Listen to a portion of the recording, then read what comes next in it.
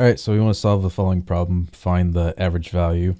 So um, this is A, this is B, so we have 1 over pi minus 0, and we're integrating from 0 to pi, sine of x dx. So what we end up with is 1 over pi, and then uh, the integration of sine is negative cosine of x and we're going from 0 to pi. So 1 over pi, um, so negative cosine of pi, cosine of pi is equal to negative 1 minus, and the cosine of 0 is equal to 1.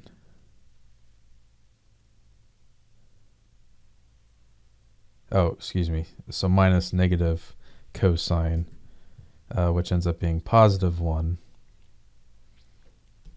or negative 1 but it becomes positive. So inside we get 1 over pi times 1 and this becomes plus 1 and 2 times 1 over pi is equal to 2 over pi. And that's it. All right. I hope this helped you out. Thanks for watching. Have a great day